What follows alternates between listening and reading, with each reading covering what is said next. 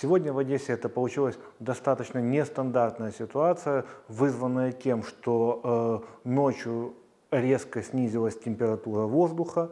Э, в связи с этим опала фактически вся листва, которая была на наших деревьях. То есть мы с утра э, занимались уборкой листвы. Э, был задействован фактически весь личный состав наших, наших дворников, а также спецтехника. Вот. Днем скажем так, общая картинка усугубилась сильным ветром, минусовая температура и те небольшие осадки, которые были, вызвали гололед.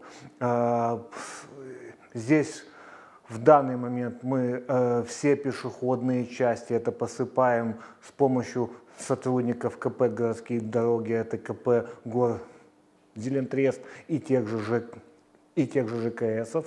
Мы на линию вывели ну, 29 единиц техники, которые сейчас это работают по э, маршрутам. Эти, эти машины занимаются э, это посыпкой ав, автомобильных дорог. Э, вечером и на ночь мы усилим эту работу, мы выведем дополнительную технику и э, будем в дальнейшем вести наши, наши работы по уборке города по посыпке автомобильных дорог и по посыпке пешеходной части согласно регламента и установленного графика.